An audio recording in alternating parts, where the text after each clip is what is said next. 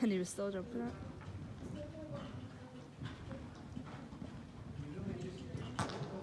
Oh, oh Christ.